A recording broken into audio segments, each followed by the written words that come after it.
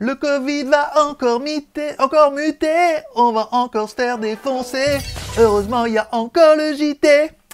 Balami GLG. Oui, bonjour, bonjour à tous, c'est GLG et je vous souhaite la bienvenue pour ce petit JT du Geek du 9 juillet 2021. Je suis GLG, votre dealer d'acco. On se donne rendez-vous deux fois par semaine pour votre petit résumé des news high-tech, smartphones, films et séries télé et des reviews à venir. Bye GLG, l'ami du petit déjeuner, oui, et toute la journée en replay.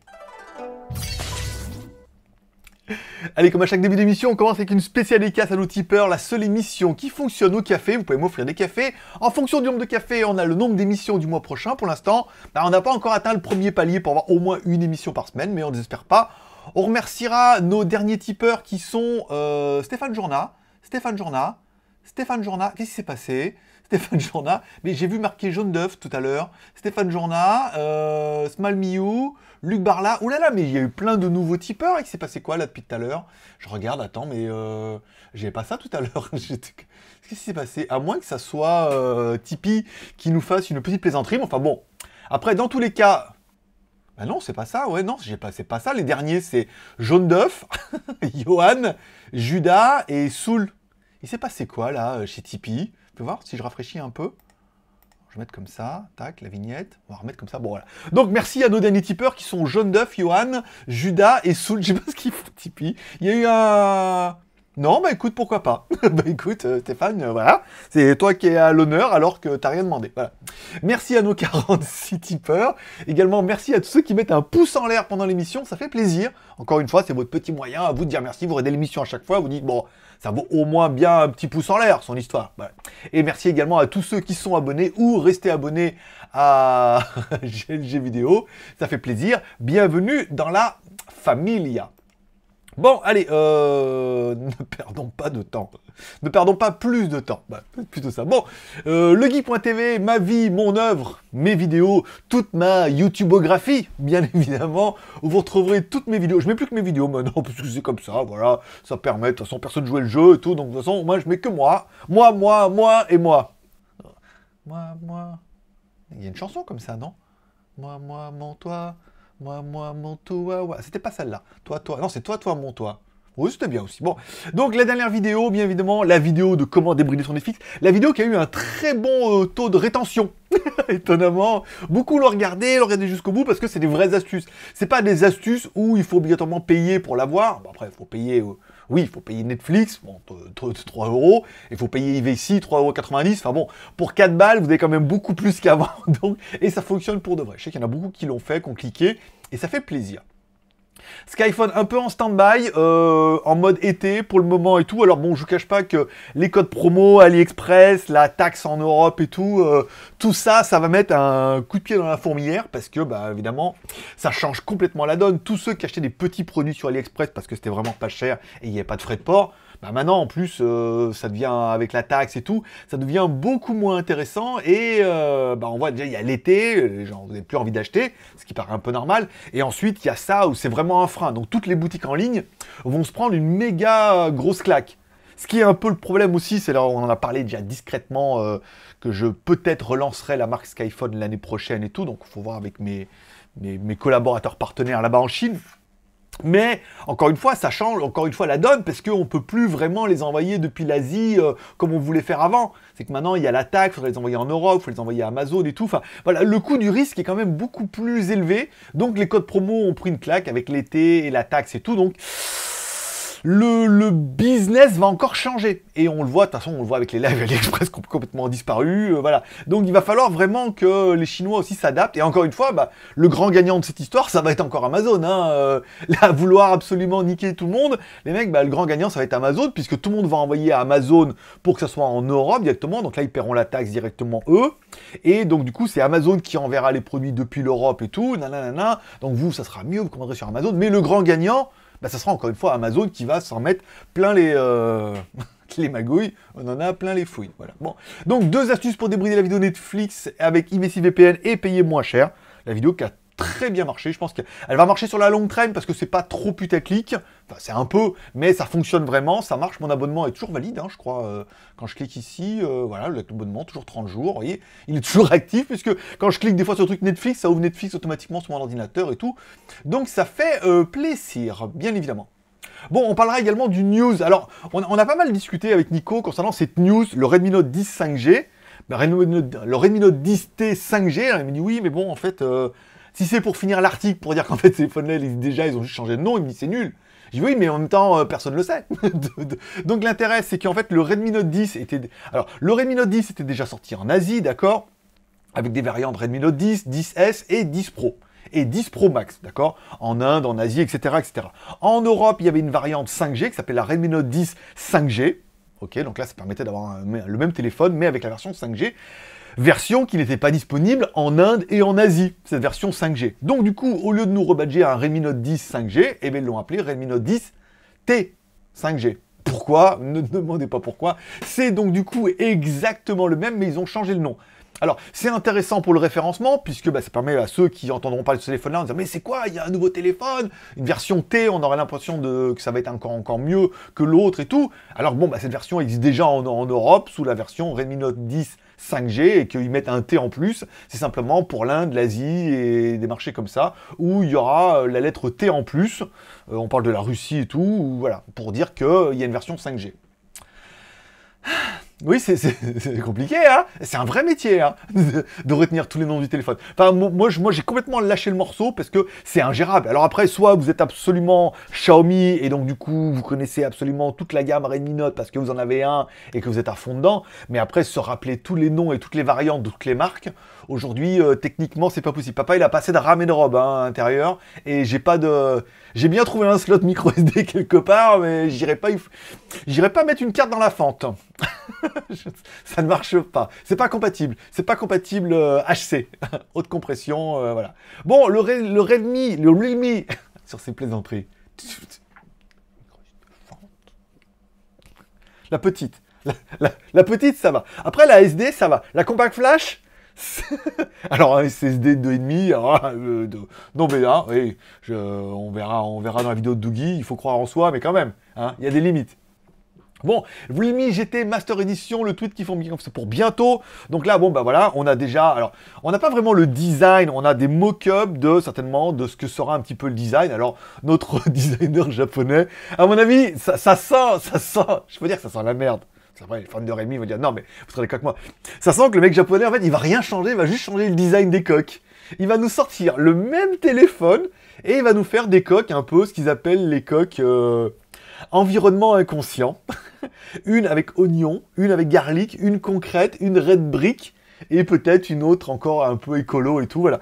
Donc simplement, moi je pense que c'est ça qui va prendre son chèque, il va nous sortir des coques avec des designs un peu particuliers et tout, qui va vous facturer bien évidemment bien cher, alors qu'après, bon, en Chine, on trouvera des coques qu'on pourra clipser. Alors ça sera, ça sera beaucoup moins joli que le truc intégré comme ça. Mais souvent, après, quand les téléphones marchent bien, on trouve aussi les autocollants. On trouve aussi les stickers qu'on peut mettre dehors par-dessus. Alors, ça fait pas pareil, pareil. On est d'accord. Comme encore une fois, un wrap, c'est pas aussi bien qu'une peinture. Mais c'est bien déjà, tu vois. Donc du coup, je sens que la, blague, ça va être exactement le même. Ils vont l'upgrader un petit peu et ils vont nous mettre une finition... Euh, comment ils l'appellent? Environnement inconscient. Je sais pas combien les mecs qui facturent pour ça, mais bon, en même temps, voilà. En même temps, tout le monde dit ouais, bah, fallait la trouver l'idée. Le mec il dit attends, je vais vous faire un truc environnement inconscient, c'est-à-dire on va vous mettre de l'écologique et euh, de l'environnement comme ça, sans que les gens s'en rendent compte, dans une couleur, dans une nuance, dans un dégradé, euh, dans un filigrane à l'arrière d'une coque qui augmentera cette sensation et tout. Oui, mais je suis un escroc aussi, hein. je, parle bien. Hein. Voilà. Donc, à voir et tout. Bon, le téléphone a déjà été. Euh, il y a déjà un téléphone qui a été aperçu sur Tina, donc on pense que c'est bien évidemment le a un écran AMOLED de 6,55 pouces. Pas bien mieux que le mien, donc non. Caméra frontale 32, pas mal. Snapdragon 870, c'est pas mal. Jusqu'à 12 plus 256, pourquoi pas. Batterie 4005. Charge 65 watts. Caméra 16 plus 5 plus 2 a pas trois pattes à un canard à la caisse cette histoire, mais voilà, encore une fois, ce sont que des rumeurs, il faudra attendre de voir le téléphone. Le seul truc qui est sûr, c'est euh, l'environnement inconscient. mais j'y crois, j'y crois. En fait, le truc, c'est qu'il a déjà... Euh, Monsieur Naoto euh, Fukasawa, a déjà en fait rebadgé, enfin relooké des éditions en fait de chez Realme qui étaient exactement les mêmes avec un design un peu différent, enfin une couleur. On va dire, on peut parler de couleurs différentes parce que le design est exactement le même, mais une couleur et un environnement inconscient bien évidemment. Voilà. Je sais pas combien les mecs qui facturent pour ça, mais bravo, bravo. Écoute, chacun son créneau, hein, et moi je vis des reviews et euh, de mes conneries. Il y en a qui vivent de trucs, voilà, chacun vit de son truc, mais bravo. je, félicite, euh, je félicite travail. Bon, on parlera du Snapdragon 895 qui pourrait être prêt au mois de décembre, donc du coup le Xiaomi Mi 12 aussi. Et félicite aussi, bien évidemment. Donc du coup, on parle de, du Snapdragon qui pourrait être prêt un mois et demi avant euh, ce qui était prévu. C'est-à-dire que le téléphone devait être prêt... J'en pleure, putain. Le téléphone devait être prêt au mois de janvier. Et donc du coup, s'il est prêt un mois et demi avant, il sera prêt donc du coup au mois de décembre. Fin novembre, début décembre, le processeur devrait être prêt, donc il devrait être annoncé et présenté. Souvent, quand maintenant, quand ils ont des gros partenariats comme ça, ils essaient de s'associer avec des marques en disant on présente un nouveau, télé, un nouveau processeur et dans la foulée, la marque dit on est les aussi, on est partenaires, on est les premiers à l'avoir et donc du coup, regardez ce processeur, il est génial, et eh ben on va le voir dans, euh, dans un téléphone. C'est comme sortir un moteur et pas sortir de voiture. On a un nouveau moteur 800 euh, chevaux. Ouais, et alors? Bah, il fait 800 chevaux. Et euh, ça donne quoi en vrai? Bah, on n'a pas de voiture. Voilà. Là, au moins, ils auront un partenariat avec Xiaomi. Donc, du coup, ce qui voudrait dire que si Snapdragon présente son processeur au mois de décembre, forcément, Xiaomi, dans la foulée, genre 2-3 jours après, ils vont dire voilà notre téléphone et nous sommes les premiers à avoir le Snapdragon 895. Je rappelle que le dernier, c'était le 888, éventuellement un 888 Plus, qui est le même mais upgradé. Là, on aurait un 895, encore plus puissant, plus merveilleux, tout là, des chevaux, en veux-tu, en voilà. Tu t'en serviras jamais de tout ça, mais les processeurs, ton smartphone va devenir plus, est en train de devenir plus puissant que ton PC, mais euh, voilà. Le truc, ce serait vraiment, je pense que dans un avenir proche, c'est que ce serait vraiment, oui, comme, comme les, fabricants le font plus en plus, ça veut dire qu'on puisse brancher euh, une prise HDMI sur le, truc là, enfin un, hub, euh, il est où mon hub? Il est où mon hub? Je l'ai mis quelque part, je l'ai préparé, il est là-bas, attends. Attends, je reviens. Oui, parce que j'ai mis l'étagère ici. C'est quand, même plus pratique. Hein ça s'intègre en plus, euh, voilà, hein, pour faire voir un peu joli. Donc par exemple, on regarde, on met un hub comme ça au cul du, téléphone, ça sera la présentation de 15. T'as les prises USB, clavier, souris, lecteur de carte, Ethernet, machin et tout, prise HDMI, et donc du coup, ton téléphone portable devient ton ordinateur, quasiment. Certains vont me dire, oui, attends, quand on voit tous les Chromebooks et tous les ordinateurs portables de merde qui nous sortent, je veux dire, un bon téléphone, ça pourrait carrément faire l'affaire. On met un petit écran, clavier, souris et tout, et on retrouve son ordinateur, son Windows, et on a un espèce de truc Android sur un écran et tout. L'avenir doit aller vers là, c'est obligatoire, avec le cloud, le cloud, pas Claude, hein, l'autre, le cloud, avec les nuages, avec les nuages et tout, la pluie tout, les torrents, la boue, voilà. Donc voilà, donc c'est quand même une news qui est assez intéressante, ça veut dire qu'on pourrait voir arriver, alors soit le Mi 12, comme la news voudrait nous le laisser suggérer. Mais attention, il y a un autre challenger qui est on the way, c'est le Xiaomi Mix 4 qui devrait normalement arriver cet été, mais peut-être qu'il dira ah, en fait cet été, euh, nous aussi on a le 895, ou alors l'annoncer en disant on sera les premiers à avoir le 895, et le processeur sortant au mois de décembre, il ferait euh, les premières mises en vente. À voir. À voir, à voir, parce qu'on voit bien que les fabricants essaient vraiment de vous faire attendre en disant ah il est disponible, attendez un petit peu et ça va être merveilleux. Bon, on parlera également du nouveau vélo Fido, le Fido X. Un, je dirais un téléphone, un vélo.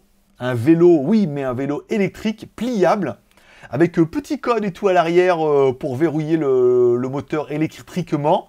Aucun câble, tout est intégré, tout dedans et tout. Il est quand même juste magnifique ce vélo. Bon, il vaut 1000 balles hein, en promo hein, euh, sur Indiegogo. Mais le vélo est quand même juste magnifique, juste compact, juste intégré et tout. C'est vraiment le vélo... Euh, alors je me dis, moi je veux bien, mais quand on voit en France les mecs comment ils flippent dès qu'ils ont un vélo, une moto, un scooter pour pas se les faire voler, je me dis putain, le genre de truc comme ça là, il, faut un antivol qui est plus gros que le, cadre du vélo. En plus, tu peux l'attacher où là, l'histoire? Parce que du coup, si tu l'attaches à la roue, bah, il démonte la roue, il pique le vélo. Euh, au cadre. Euh, oui, il n'y a, pas de, a pas de cadre en U. Tu vois ce que je veux dire? Il n'y a pas un endroit où il y a un triangle où on puisse passer un. où on puisse passer un antivol sans te le faire voler. Parce que pareil, si tu mets dans le pédalier, euh, non, dans la roue, non, dans le...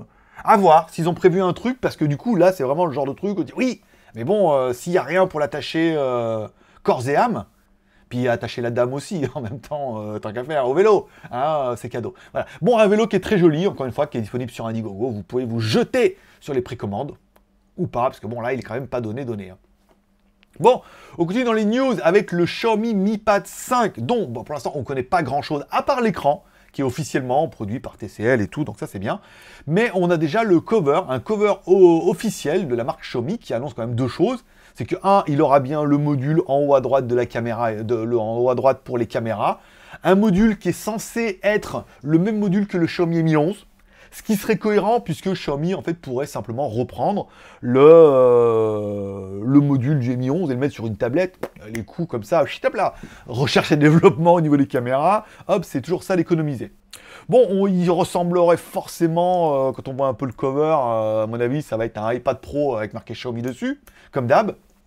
La bonne nouvelle, c'est que, un, déjà, on voit bien qu'il y a un stylet, donc pour ceux qui sont gros fans, c'est pas mal, et qu'apparemment, il y a un emplacement pour le stylet, ce qui est quand même plutôt pas mal aussi par rapport au iPad ou leur magnétique, truc, nain, je te cover par-dessus, voilà. Là, il y a un emplacement, et certainement, il y aurait même peut-être même la charge magnétique, c'est-à-dire qu'on le met dessus et il se recharge. Un produit qui est sympa, pour l'instant, on parle d'un LCD de 10,95 pouces produit par THL Washing de 2560 par 1600. Bon, pour l'instant, on n'a pas plus d'informations, si ce n'est que, apparemment, il pourrait y avoir plusieurs versions, en fonction de comment ils le sentent. C'est-à-dire une version qui pourrait être que Wi-Fi, et une version qui pourrait être Wi-Fi 5G. Ce qui en ferait un peu la première tablette 5G, euh, soit de la marque, soit du monde. Je sais pas euh, comment ça se passe. Oh, 16 dollars. Ah, ils ont payé la taxe, euh, machin. Merci beaucoup, Cinco. Qu'est-ce que je voulais dire? J'ai oublié. bon, voilà, ça, ça pourrait être la première tablette avec, un, avec de la 5G et tout dessus. Donc, forcément, on parle soit d'un 870 euh, ou... Euh, bon, on a pas mal de processeurs 5G, un, 800, un 768 5G, par exemple, qui pourrait être pas mal, pas cher et tout, voire un 888 et tout, pour les plus haut de gamme et tout. Il faudra vraiment attendre. Normalement, euh, Xiaomi devrait nous proposer une tablette et une tablette 5G, et surtout une une tablette avec un nouvel OS qui serait MIUI pour, euh, pour tablette. Alors, concernant ça, j'ai vu pas mal de news concernant MIUI 13 où pas mal de gens râlent en disant plus les versions MIUI évoluent, plus il y a de bugs. C'est-à-dire qu'avant, c'est les rois de la Rome et les correctifs, que les dernières versions, c'est de la merde en barre, qu'il y a de plus en plus de problèmes et tout, et qu'ils n'arrivent pas à solutionner les problèmes. Alors, on a déjà mis dans une news que Xiaomi avait créé la Pioneer Team et tout. Euh, Ils sont pas sponsorisés par Pionnier, hein. les pionniers, tu vois, pour corriger les bugs et tout, mais à force de sortir énormément de modèles et donc du coup énormément de ROM différentes, on voit bien que les mecs n'y arrivent plus. les mecs ne suivent plus. Comme tous les fabricants, à force de sortir énormément de modèles, les mises à jour, les correctifs et tout, ils n'arrivent pas à tout faire. Et, euh, et, ça se comprend aisément. Donc sortir encore une version pour une tablette et tout, oui je dis, faut voir. Bon, OnePlus qui continue dans la plaisanterie, bien évidemment, en nous confirmant que bien évidemment, il y aura un OnePlus Nord 2. Alors apparemment, c'est pour le 16 juillet. Il y a une date qui est tombée hier et tout. Et il aurait donc bien le nouveau processeur euh, Mediatek, le Dimensity 1200. Mais ils ont travaillé en étroite collaboration avec Mediatek pour proposer un processeur dédié qu'ils ont appelé 1200 AI qui serait dédié à l'intelligence artificielle. Alors le problème de OnePlus, c'est que c'est pas la première fois qu'ils nous font la blague. La première fois, c'était OnePlus a travaillé en étroite collaboration avec Cyanogen pour vous proposer une ROM optimisée. Bon, on a vu la merde atomique que c'était. Hein. Ceux qui se rappelleront de OnePlus au lancement, ça a été une catastrophe Cyanogen et tout. Il n'y avait pas de partenariat. Ils les ont saignés. Euh, chacun pensait faire sa pub avec l'autre et ça s'est fini en queue de pie. On parlera, on parlera même pas de Hasselblad le partenariat avec en étroite collaboration avec Hasselblad pour vous sortir un téléphone dont voilà, voilà, bon, il y a marqué Hasselblad dessus, c'était sympa. Je pense que Realme va nous mettre Kodak aussi, et voilà. Donc bon, on voit que les états de collaboration, bon, ils leur ont demandé de faire un truc, ils leur ont demandé de faire un processeur. Est-ce qu'il va vraiment être beaucoup plus optimisé que les autres? À mon avis, c'est de la merde en barre. C'est juste qu'ils vont faire un espèce de traitement logiciel qui permettra peut-être de mieux gérer l'intelligence artificielle, mais ça sera à mon avis tellement imperceptible que euh, bon, ça passera un petit peu à la Et après, je pense que le 1200 AI, c'est eux qui l'ont renommé intelligence artificielle en disant non, mais on a demandé à ce qu'ils nous changent un petit truc dedans. Et donc, du coup, nous, dans le logiciel aussi, on va changer un petit truc et ça va être mieux. Ça, va être, à mon avis, ça va juste être ça, puisque, bien évidemment, on pensera au Challenger, au Redmi K40 Ultra, qui arrivera lui aussi, bien évidemment, avec le 1200. lui, il n'y a pas d'intelligence artificielle dessus.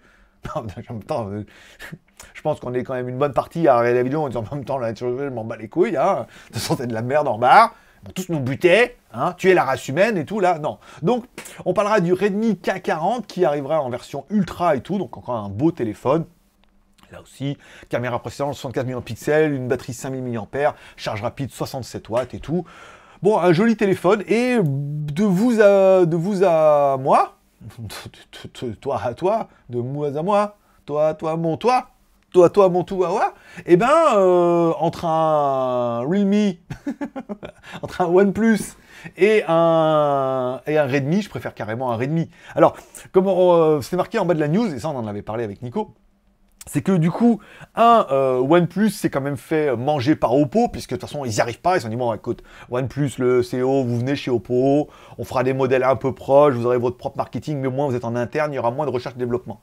Bon, il est assez flagrant que la, gamme Nord de OnePlus risque de passer chez Realme. Hein. Moi, je vous le donne comme ça, mais euh, la gamme Nord risque de ne pas rester dans l'environnement Oppo OnePlus, et serait plus en adéquation avec la marque Realme et Realme Nord. Voilà. Comme ça, ça resterait dans le groupe, mais ça permettrait d'avoir deux gammes. Oppo OnePlus, on fait du cher, et Realme Nord, vous faites du pas cher. Voilà. Comme ça, ça évite de, euh, de mélanger un peu les torchons et les serviettes. Les oiseaux et les aigles. À savoir, on ne sait pas qui est l'oiseau, qui est l'aigle. Hein. Bon, alors revenons au nouveau téléphone. Humidigi nous a envoyé une newsletter hier euh, avec euh, le nouveau Humidigi Bison Pro. Bien évidemment, triple caméra Sony 48 pixels, un Helio G80. Et mine de rien, euh, ayant fait le Doogie pour demain, avec le G60, ça envoie un peu du steak le G60 quand même, mine de rien. Les jeux sont plutôt pas mal, les photos sont d'enfer. Euh, il y a du potentiel, donc je me dis un G80, c'est pas mal. Alors c'est dit oui, mais il y avait le G95 et le G95T pour les versions gaming et tout, mais voilà. Là, on est quand même dans du pas excessivement cher et dans du très bon processeur. IP108, IP109 et encore une fois, un capteur de thermomètre infrarouge.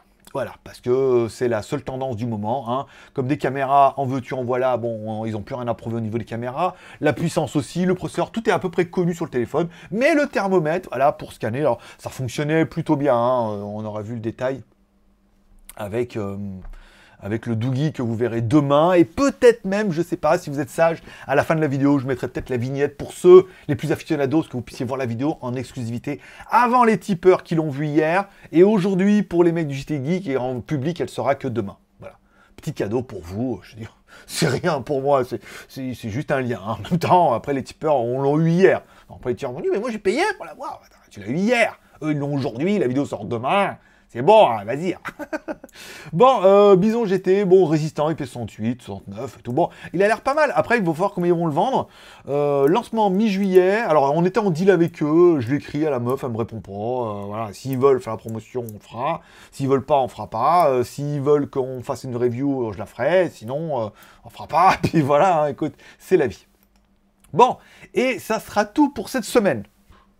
Les refios à venir, bien évidemment. Alors, on parlera du Doogie S86 Pro que vous découvrirez demain ou à la fin de cette vidéo si vous êtes un, gros addict que vous arrivez à la fin, il y aura une vignette, t'as qu'à cliquer, ça va être facile. On parlera également du la montre Ailu RS3. Alors la montre Ailu RS3, elle devait tomber cette semaine, mais ça a été reporté. Et puis là, euh, vu comme c'est parti qu'elle répond pas, c'est, euh, on sent que ça va être la semaine prochaine, voire euh, vers l'infini et l'au-delà. On a eu également un, aspirateur à main qui s'appelle la marque... Euh, merde, je m'en rappelle plus ce que c'est comme marque, je ne m'y pas. Euh, pareil, complètement disparu la meuf, et euh, elle m'a dit ah, ça c'est bon, j'ai reçu, ah, c'est bon. Et la marque direct m'a recontacté en me disant ah on a nous aussi, vous le voulez, si tu veux, envoyez-moi en deux, hein. je ferai une vidéo, j'aurai deux aspirateurs, un dans chaque main, ça sera la fête.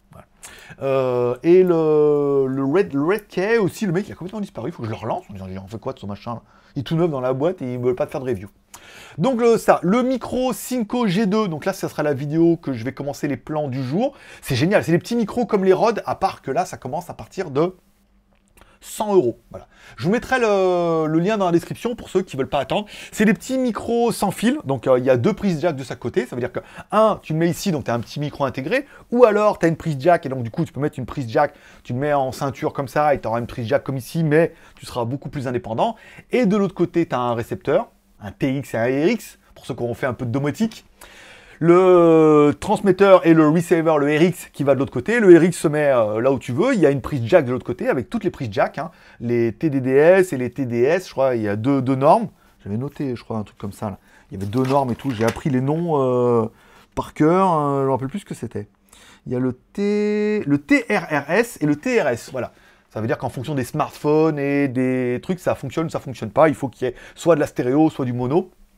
Et là, en fait, tu as une prise jack et tu branches en prise jack, soit sur ton Mac, soit sur ton téléphone, soit sur ta caméra, s'il y a une prise jack et tout. Et ça permet d'avoir un micro sans fil auto-synchronisé en HF 2 Go 4 et tout. Euh, on verra ça, justement, on en parlera dans la review. Euh, des points forts et des points faibles de ce 2 Go 4. Ça me dirait, c'est le même que le Bluetooth, hein Mais non, c'est le Wi-Fi. Mais on verra que ça fout la merde avec le Bluetooth. Donc du coup, euh, le produit est très très très sympa, fonctionne super bien et tout. Vraiment, vraiment mode love, et ça commence à 100 balles. Et bien évidemment, on vous a trouvé un vendeur AliExpress qui expédie depuis la France à partir de 100 balles. Voilà. Et sinon, il y a Amazon. Et euh, nous, on a reçu le modèle avec deux. C'est-à-dire que tu peux mettre un récepteur et deux émetteurs en même temps pour faire des interviews et tout. Oh, ce truc-là, il est vraiment génial. On parlera également du Hub Novo. On a parlé, il est là. Je vais le remettre ici, là, avant de le... voilà. Euh, le Hub Novo qui arrivera euh, le 15. Ça, c'est bon. Les Xiaomi Flipbud, donc là, il n'y a pas d'urgence, hein, ça ne change une review. L'enceinte Sony SRS A3000, je crois qu'il a toujours pas fait le montage, donc euh, voilà. La Belking Soundform Elite, je pense que la SRS tombera au mois de juillet, la Soundform Elite, la Belking avec les haut-parleurs de Vialet dedans, tombera au mois d'août. Après, j'ai quoi d'autre? J'attends le, cadre d'Ivoom que je vous ai voir la dernière fois avec les LED et tout. Il m'a envoyé le tracking. Le 5G2, j'ai reçu. D'ailleurs, histoire incroyable sur Instagram. Je vous raconte, ah, je vous raconte un peu pour ceux qui n'étaient pas là. FedEx m'appelle en me disant, oh là là, euh, j'ai un colis pour vous. Je dis, écoutez, je suis pas là, euh, je suis à Gentième, euh, je suis allé manger un bout et j'ai fait les photos pour le boogie. Il me dit, ah, mais il y a une taxe à payer et tout. Je dis, bah, revenez à 15h. D'accord. Donc je reviens à la maison 15h, mec pas là, 15h15, un mec qui m'appelle, il me dit, oh là là, un, un foreigner thaïlandais et tout, je sais pas quoi. Il me dit, oui, j'ai un colis à vous. Je dis, comment ça, vous avez un colis à moi? Il me dit, oui, j'ai un colis à vous, là, je suis dans Pattaya. Alors je dis peut-être c'est un autre colis FedEx et il s'est trompé, il a laissé un autre gars et tout, puis je dis s'il n'a pas demandé la taxe en même temps, euh, voilà quoi. Je dis bah je viendrai demain, 9h30, euh, euh, ah, très bien.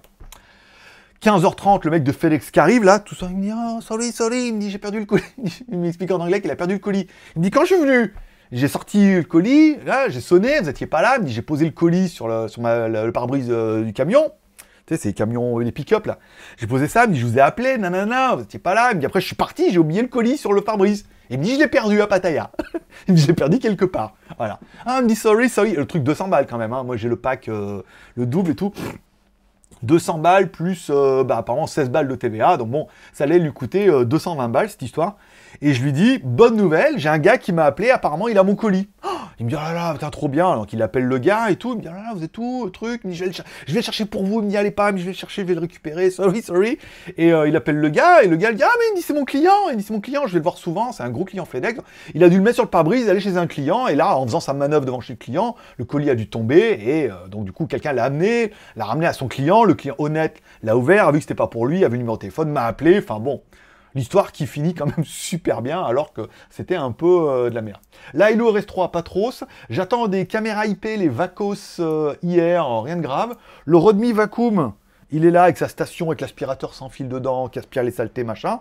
Et la console rétro gaming euh, avec 200 et quelques jeux. Pareil, elle est partie hier par TNT, je devrais la recevoir mi-juillet le 16, on est déjà le 9 en même temps, ça va être pas mal. Donc voilà. Donc il y a quand même le petit review euh, plutôt sympathique. Voilà.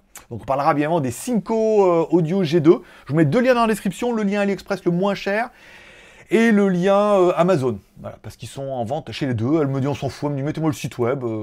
voilà, très bien. Et ça, c'est le mode d'emploi que j'ai téléchargé bien évidemment. L'enceinte Belking, magnifique. Putain, elle a augmenté l'enceinte Belking, la vache. Elle était à 179 euros, elle est passée à 232. Bon, faut attendre, hein, elle doit être un peu en dents de scie, euh, le prix de l'enceinte et tout, mais très bien.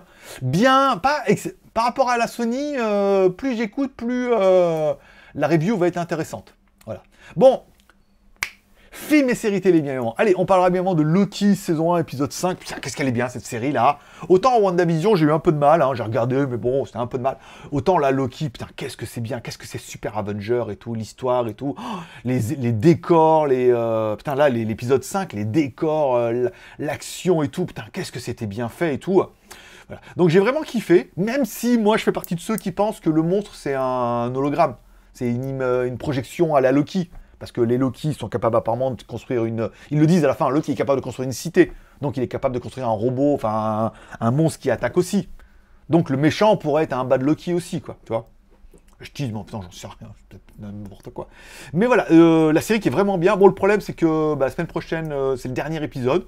Heureusement, après, il y a euh, la rousse, là, la Rousseau, la rousse à regarder, là, il y a le film et tout. Alors, je sais pas, je voulais le voir au cinéma, mais bon, je pense que je vais attendre qu'il soit disponible euh, sur, mon internet à moi. Hein, VPN et tout, euh, on verra. Donc c'est vraiment une de mes séries préférées et tout. C'est vraiment très Marvel et tout. Et euh, putain, quand on voit le niveau des séries télé maintenant, on se dit que franchement, waouh. J'ai commencé à regarder également Too Hot to Handle sur Netflix. Oui, parce que j'ai Netflix moi maintenant. Pour 3,90€ par mois, j'ai Netflix international tout débloqué. T'as qu'à aller regarder ma vidéo sur GLG Review. Et ça fonctionne pour de vrai, de très bien. Euh, alors j'ai commencé directement la saison 2, je sais plus ce qu'il euh, y en a un avec toujours, toujours, il y a toujours un t-shirt noir dégueulasse qui est toujours crade et tout, euh, sur fond vert qui fait des, des critiques. Il a dit oh c'était pas mal et tout. J'ai commencé à regarder ça. Et je sais pas si c'est mon côté euh, célibataire depuis peut-être trop longtemps ou euh, mon côté gay qui se réveille, mais je trouve les mecs plus sympas que les meufs. Les meufs ressemblent à rien, je suis désolé, mais elles sont vilaines. Elles sont vilaines. Ah, Les blondes elles sont horribles bien maquillée. Euh, la, la blague, elle est pas mal. euh, la Filipino aussi, un peu mixte, parce que c'est mon petit côté asiatique, tu vois.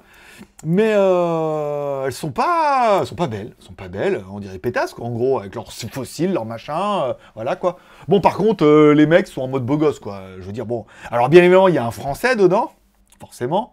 Bon, il est louche, hein, le Français, hein. Bon, déjà, c'est déjà, c'est un putain de beau black. Les, les dents, les dents, elles sont trop belles pour être honnêtes. C'est-à-dire que tu peux pas avoir des dents comme ça si t'es un, si un mec normal. Si t'es un mec normal, t'as pas des dents blanches comme ça pour faire du cinéma. Enfin, tu sais, tu sais, les dents bien blanches, bien calées et tout. Je veux dire, le mec, je sais pas, il doit être top modèle ou travailler pour je sais pas quoi et tout, mais voilà. Puis avec son petit accent français et tout là, ouh, dis donc. Presque envie de virer ma cutie.